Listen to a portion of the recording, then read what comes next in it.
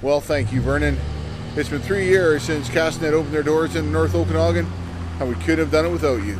To say thanks, we held a little appreciation gathering last night for all of our customers. So we wanted to do is just uh, let you guys know that uh, you really are appreciated. We we really want you to know that um, this is a Castanet family, but you guys are a part of that as well. And um, the things that we kind of strive for in the office uh, are the things that we kind of like to share with you right now. We we really truly want to be looked at as the place for people in Vernon to go to get their information, whether that's to access you guys or to access the news information. And uh, we don't always get it right, um, but we always, always work to make sure that we try our best to get it right.